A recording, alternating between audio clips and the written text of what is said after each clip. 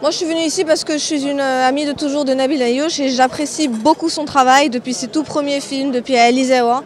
Toujours des films engagés, des films euh, quelquefois qui font la, polémique et la controverse, mais toujours euh, qui essayent de porter un message, des valeurs et souvent dans la dénonciation.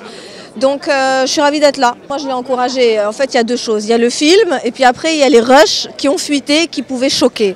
Ce sont deux choses différentes. Maintenant le film en lui-même, il a une raison d'exister. C'est un film qui, qui, qui, met en lumière un problème de société. Donc si on doit s'insurger, si on doit crier euh, euh, notre colère, c'est pas contre le film mais contre la réalité. Donc euh, après le fait qu'il y ait des rushs qui aient pu fuiter, c'est autre chose. Ce n'était pas censé être rendu public. C'est pas la question. Moi je je vais pas juger ça. La démarche artistique d'un réalisateur, je ne vais pas la juger. En revanche, le film, le fait qu'il dénonce un problème de société qui est la prostitution, le fait qu'il parle de ces femmes qui sont dans des détresses euh, sociales souvent et qui ont besoin d'aide, ça je trouve que c'était important de le faire, ça relevait du courage.